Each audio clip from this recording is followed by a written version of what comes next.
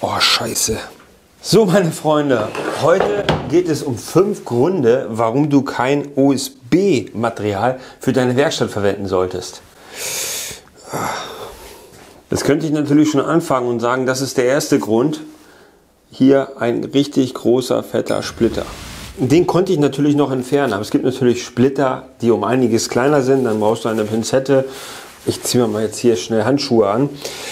OSB, ja, mein geliebtes OSB. Und ich habe nach meinem letzten Video, da ging es um das Thema Altholz, habe ich mir gedacht, komm, gehen wir mal das Thema USB an. Ich möchte es auch nur ganz, ganz grob anschneiden, euch meine Erfahrung dazu sagen, warum, weshalb ich das nicht in meiner Werkstatt verwende und warum ich dir das auch nicht raten kann. Es ist trotz alledem kein schlechtes Material, ich sage jetzt mal so Baumaterial für einen Hausbau, äh, aber meiner Meinung nach hat das in der Werkstatt nicht zu suchen. Und ähm, wer meine Werkstatt kennt, der weiß, dass auch hier wirklich kein OSB verbaut worden ist. Bis auf einen Plattenwagen, den ich mal vor Jahren zusammengebaut habe. Und ähm, da kommt es wirklich nicht drauf an. Das USB, das hält heute noch. Ähm, es ist egal, ob sich das durchbiegt oder, oder, oder. Das ist einfach nur funktionell und war ein schnelles und günstiges Material, was ich damals schnell für einen Plattenwagen verarbeitet habe. Aber das ist auch das einzige Projekt, was ich mit USB umgesetzt habe, wenn ich mich jetzt äh, richtig dran erinnere. So, meine Damen und Herren, ich habe mir jetzt zwei Streifen besorgt. Ich bin jetzt extra für euch in den Baumarkt gefahren und habe mir 20 mal 1 Meter zwei Stücke zuschneiden lassen. Einmal in, ich glaube, das sind 22 mm USB und einmal hier 12. So. Das erste, was uns gerade aufgefallen ist, natürlich ist es scharfkantig, es ist sehr splitterreich, es tut weh. Gibt natürlich auch andere Plattenmaterialien, wie beispielsweise Siebdruck möchte ich gar nicht sagen. Wenn man das zugeschnitten sich holt und einmal lang fährt mit der Hand, dann hat man sich auch die Hand aufgeschnitten. Das erste, was mir sofort auffällt, ist, dass Material sehr, sehr grobporig ist. Also ihr könnt hier schon die, die Holzfasern sehen, beziehungsweise das zerschredderte Holz, was einfach zusammengepresst worden ist. Und äh, dementsprechend ist auch die Stabilität. Ähm, hier 12 mm, die kann ich schon locker mit der Hand durchdrücken. Und ich habe euch mal hier jetzt ein äh, Sperrholz, äh, eine Sperrholzplatte mitgebracht, auch von 22 mm. Die Dichte ist um wesentlich höher als bei einer USB-Platte. Und äh, das kann man auch ganz leicht erkennen, wenn wir jetzt hier beispielsweise mal schnell zwei Klötzer drunter legen und das Ganze mal biegen. Also ihr hört es schon, ne? dass das Material nachgibt, dass die äh, Verleimung das hört man schon, dass das Material dann Knack macht, oder? Es würde jetzt nicht viel fehlen und dann kann man das Ganze auch durchbrechen. So. Also ihr könnt hier wunderbar sehen, dass wir wirklich ganz, ganz viel geschreddertes Holz haben, was einfach zusammengeklebt worden ist. Und deswegen lässt die Stabilität einfach ganz, ganz schnell nach. Oder das Holz, das verformt sich ganz schnell. Das heißt, wenn ihr große Flächen damit abdecken wollt, äh, lässt sich das nicht vermeiden, dass sich das Holz durchbiegt. Und äh, gegenüber zu der Spanplatte hier, die ist schon ein bisschen stabiler, ne? da hört man auch nichts gleich. Und hier habe ich nochmal für euch mitgebracht ein bisschen beispielsweise Multiplex. Und da ist es schon wieder ganz anders. Ne? Das ist schon, ja, da bewegt sich fast gar nichts. Aber das Ganze ist natürlich nichts Neues für euch. Jeder, der ein bisschen gewerkelt hat, ne, der äh, weiß, dass äh, USB natürlich eine sehr, sehr geringe äh, Formstabilität hat.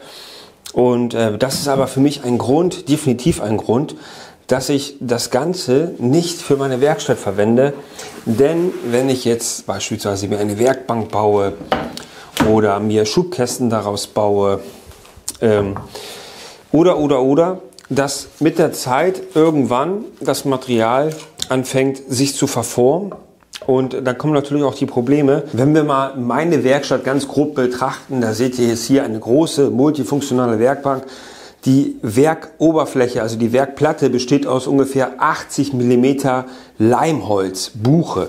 Genauso wie bei meiner Kapp- und Gärungsstation. Der Korpus ist aus Leimholz gefertigt und die Schubkästen sind aus Siebdruck bzw. aus Sperrholz. Das gleiche spiegelt sich auch wieder bei meiner French Gliedwand. Ich habe dort eine Rahmenkonstruktion aus Vollholz, Fichte gefertigt und die French Gliedleisten sind auch aus Siebdruck gefertigt, nicht aus OSB. Ähm, das Ganze arbeitet mir zu sehr und es sieht auch, ich finde, den Look mag ich nicht so wirklich. Kanten hatte ich ja schon angesprochen gehabt, viele, viele Splitterbildungen. Das heißt, jedes Mal musst du die Handschuhe anziehen, wenn du das Ganze bearbeitest. Wenn ich damit an der Tischkreissäge gehe, natürlich sehr, sehr gefährlich. Meistens sollte man an der oder man sollte absolut keine Handschuhe tragen. Und wenn ich dann jetzt diese USB-Platte dort bearbeite, ja, werde ich mir wahrscheinlich viele, viele Splitter reinhauen. Viele Splitter, die ich gar nicht sehe. Sprich, es fängt an zu eitern irgendwann, äh, es tut weh und so weiter und so fort. Das möchte ich natürlich nicht haben. Also da versaue ich mir die ganze Arbeit oder das ganze Werkeln damit. Und dann ist es so, die Oberfläche, die ist sehr, sehr grobporig, wie ihr hier sehen könnt.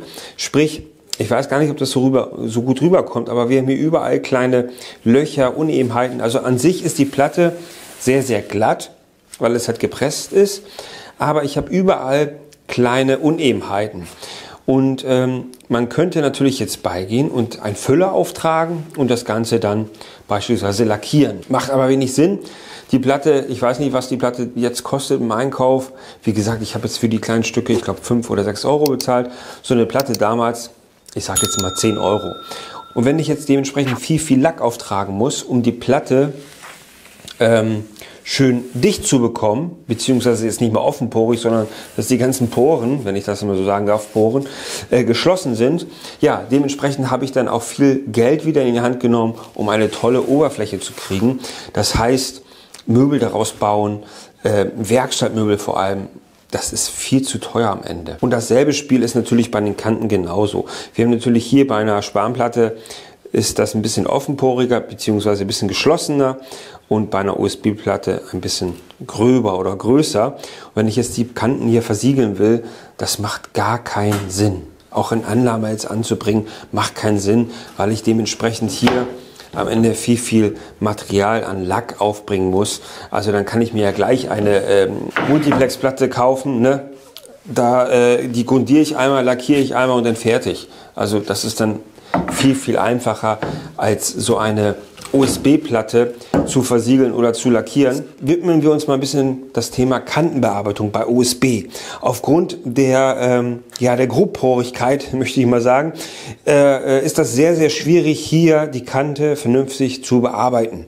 Vor allem, dass wir uns dann später, warum bearbeite ich eine Kante, warum äh, phase ich da vielleicht eine Phase ran oder fräse eine Rundung ran, damit ich mich nicht verletze, damit sich das Ganze schön anfassen lässt.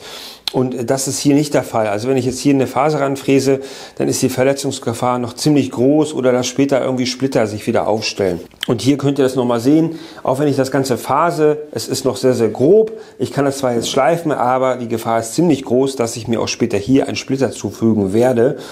Ähm, Profilanfräsung ist hier natürlich überhaupt nicht möglich.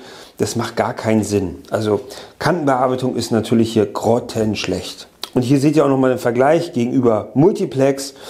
Ähm, ich brauche das Ganze jetzt noch einmal zwischenschleifen, einmal grundieren, einmal Endlack drauftragen. Und dann habe ich wirklich eine perfekte Oberfläche gegenüber zu USB. Da muss ich wirklich öfter ein ähm, Füller auftragen und dann irgendwann den Endlack mal aufzutragen, dass ich eine richtig tolle glatte Oberfläche habe, vergleichbar zu USB und äh, vergleichbar zu Multiplex. Und am Ende habe ich, wie gesagt, viel, viel mehr ähm, investiert, um so eine gleichwertige Oberfläche zu erzielen. Am Ende steckt dann noch immer USB hinter, anstatt Multiplex und die Stabilität ist auch wieder nicht gegeben. Scheibenkleister, schon wieder so ein Splitter zugef... Und das Ganze ist hier, ja, Feuerholz kann man sagen. Ähm, ja, es war jetzt einfach nur zum Zweck, um euch mal zu zeigen, was da so hintersteckt. Natürlich ist es sehr, sehr verlockend, daraus sich Werkstattmöbel zu bauen weil es sehr, sehr günstig ist. Aber wenn ihr wirklich lange was von euren Werkstattmöbel haben möchtet und dass die auch tadellos funktionieren und vor allem stabil sind, dann setzt bitte nicht auf OSB. Ähm, nimm bitte dazu Multiplex, wie jetzt hier. Ihr müsst natürlich auch nicht die dicken Platten nehmen von 22 oder 19. Äh, nimmt eine Rahmenkonstruktion, Bauweise, wie ich jetzt hier getan habe, für diese Werkbank, für diese Werkbank, für diese Werkbank und ummantelt das Ganze beispielsweise mit Sperrholz.